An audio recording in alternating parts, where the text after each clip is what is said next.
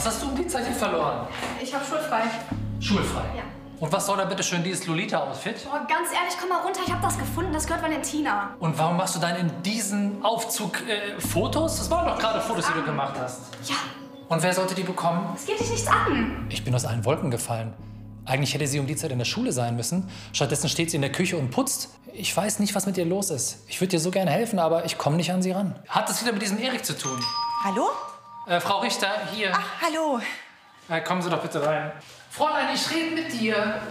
Komme ich gerade unpassend? Frau Richter, Sie Ich komme einfach mal, ja, ich komme einfach mal. Wer war denn hier so fleißig? Das ist meine Tochter Naima. Hallo. Wir hatten gerade ganz aktuell wieder eine wunderbare Diskussion, weil man dann nämlich eigentlich um die Zeit in der Schule sein sollte. Stattdessen erwische ich sie hier in ihrem Putzwahn. Schauen Sie mal, wie das Kind aussieht. Diese, diese Verbände an den Armen und, und den Händen, das ist alles von dieser Putzerei. Ich weiß nicht, der Arzt sagt, du sollst nicht putzen, damit du dich nicht noch mehr verletzt. Und was machst du? Du hörst nicht drauf. Ich bin heute bei der Familie Jackel, weil ein alleinerziehender Papa ähm, mit seiner 14-jährigen Tochter Schwierigkeiten hat. Sie scheint wohl unter einem sehr argen Putzzwang zu leiden und dem möchte ich heute auf die Spur kommen. Ich hab dir doch gesagt, ich habe frei. Und das hast du dann einfach als Anlass genommen, dich hier aufzutakeln, zu weiß Gott was und dann noch sexy Fotos zu machen. Sind die für diesen Erik? Es geht dich nichts an. Ich gehe davon aus, dass sie jetzt ihren ersten Freund hat. Ja? Einen, okay. einen 18-Jährigen. Ja. Der, der Kerl ist viel zu alt für dich. Ehrlich? Warst du nicht der, der gesagt hat, Alter spielt in Beziehungen keine Rolle? Aber der Kerl ist volljährig und macht sich an mein Kind ran. Du bist einfach faktisch noch ein Kind mit deinen 14 Jahren. Ich bin kein Kind mehr. Geht's noch? Herr Jackel kam mir extremst angespannt vor. Er war sehr unruhig, sehr verzweifelt. Und ich glaube, hier musste ich erstmal bei dem Vater anfangen, um, ähm, ja, um ihn zu beruhigen, um ihn runterzuholen, um mir dann alle Informationen einzuholen. Also das fing vor ein paar Wochen an. Ja? Ja. Naima ist eigentlich, äh, eigentlich haben wir ein super Verhältnis. Das ist ja das Ja. Schlimme. Ja, ich erkenne sie gar nicht wieder. Sie fing an zu putzen, also wirklich über die Maßen zu putzen. Am Anfang dachte ich nur, sie will einfach Ordnung machen oder so. Aber mittlerweile kommt es mir so vor, als will sie statt eine Schülerin, äh, eine gute Schülerin, die sie war, äh, lieber äh, eine Hausfrau werden oder sowas. Ja? Wenn Menschen sich dazu zwingen müssen, zu putzen, etwas sauber zu halten und das nicht außer Acht lassen können, dann können wir hier von einem Putzzwang sprechen. Auf jeden Fall, egal in welchem Alter die betroffene Person ist, ist hier professionelle Hilfe erwünscht, weil etwas seelisch so sehr belastet, dass es nicht anders verarbeitet werden kann. Es ist normal, dass wir als Eltern uns Sorgen machen und dass wir natürlich direkt schon das Schlimmste äh, mutmaßen. Ich würde ganz gerne ganz unten anfangen. Hallo! Und das- Schau mal, was wir dabei haben. Unsere Kataloge für den Ausflug fürs Wochenende. Du Süße, das ist ganz lieb, aber ich habe gerade hier, sorry, ich kann mich ja gerade nicht drüber freuen. Wir haben hier gerade ein ganz anderes Problem, wieder mit Diana Richter, wenn ich mich ganz kurz vorstellen darf. Ja? Ähm, Sie sind die Freundin? Genau, Valentina, die meine, meine Valentina. Freundin. Ja. Okay. Was Sehr ist schön. denn los? Und Sie planen Wochenendausflug? Genau, ja. Ein bisschen sportliche Abwechslung für uns alle.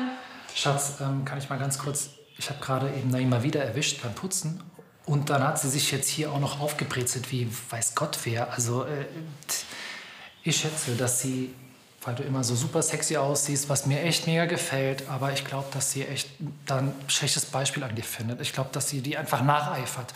Kannst du vielleicht mir den Gefallen und zumindest in der nächsten Zeit ein bisschen dich zurücknehmen, weil ich glaube echt, dass sie da total durchdreht gerade.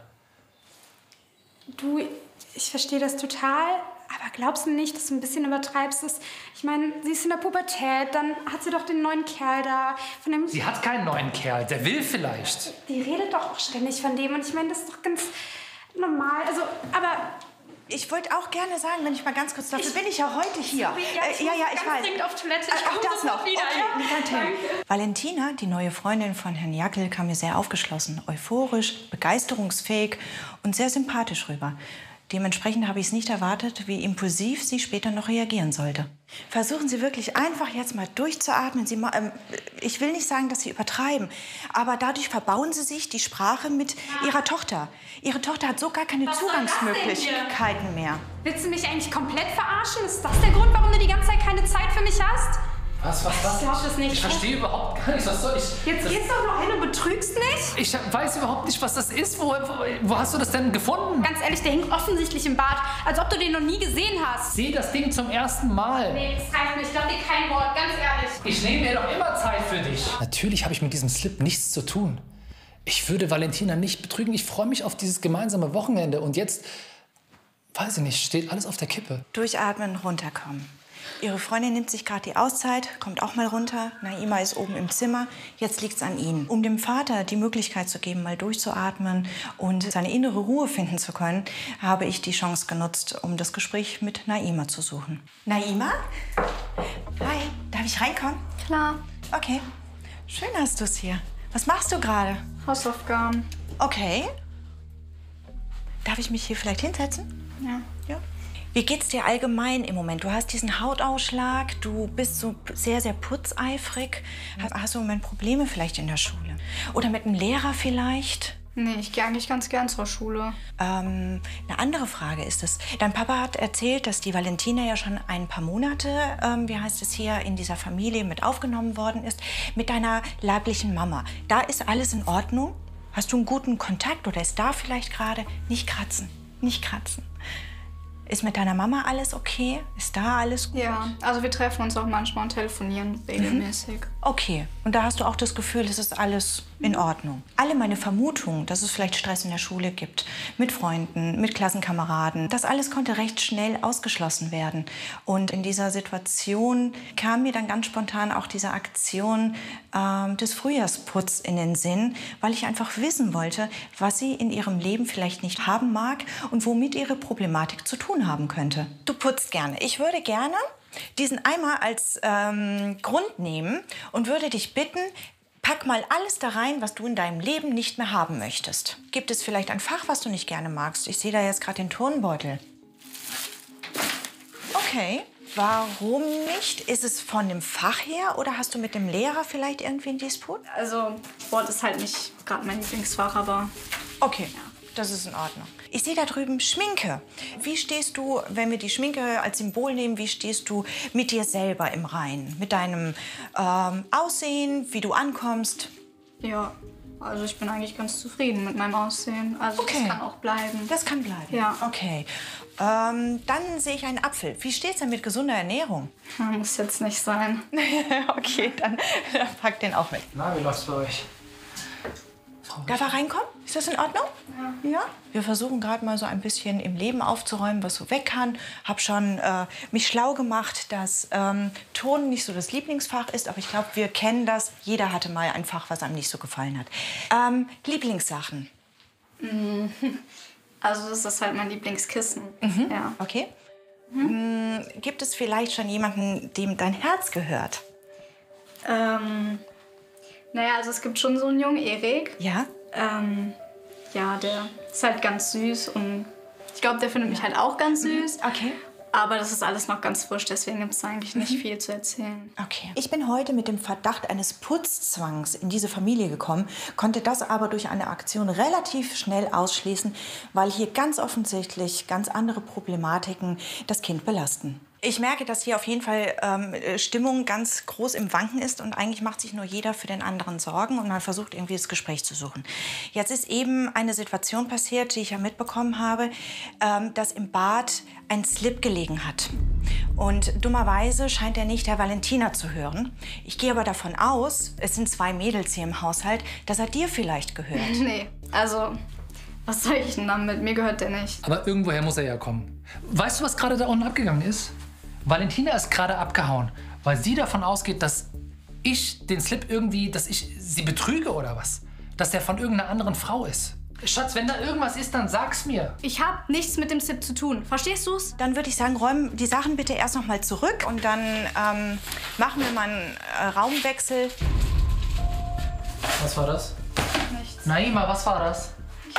Als sie die Sachen wieder zurückräumen sollte, ist was aus dem Mülleimer gepurzelt, was wir nicht sehen sollten. Was sie aber auch entlarvt hat, dass sie äh, uns alle belogen hat. Hol's mal raus, bitte. Hol's mal raus. Gut, okay. Also okay. Dessous-Versand. Okay, was, was soll ich dazu noch was sagen? Ähm, Ich gehe davon aus, dass dort der rote Slip drin war, dass du den bestellt hast.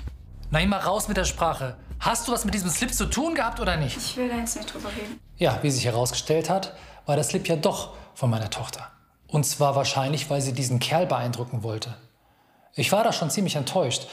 Gar nicht mal wegen der Sache an sich, sondern dass sie mich belogen hat. Was machst du jetzt? Okay, okay, das ist jetzt. Das scheint sie doch mehr zu berühren, als ich dachte. Ähm, okay, ich komme hinterher. Als ich gemerkt habe, dass sie sich an die Wand gestellt fühlt, hat sie einfach ihre Keksdose geschnappt und ist aus ihrem Zimmer die Treppe runter. Und wir sind dann natürlich erstmal hinterher, wobei ich mir nicht erklären konnte, warum sie die Keksdose geschnappt hat und weggelaufen ist. Das ist jetzt unsere Cookie-Time quasi. Okay. Ähm, wir haben vereinbart, dass wenn mal wieder die Gefühle so hochkochen und wenn es alles eskaliert, dass wir dann ähm, ja, kurz Pause machen, äh, uns hinsetzen, runterkommen, naja, und dann Kekse essen. Das ist ein tolles Ritual. Das finde ich richtig gut. Ja. Gerade wenn Eltern sich trennen, ist es ganz, ganz wichtig, bestehende Rituale beizubehalten und neue Rituale zusammen zu finden. Und hier bei der Familie Jackel war es dadurch, dass Naima in eine emotionale Zwicklage geraten ist, sich die Keksdose geschnappt hat und der Vater dadurch wusste, okay, jetzt in dem Moment braucht Naima einfach ein, ja, einen Moment für sich, durchzuatmen und dann in Ruhe das Gespräch zu suchen.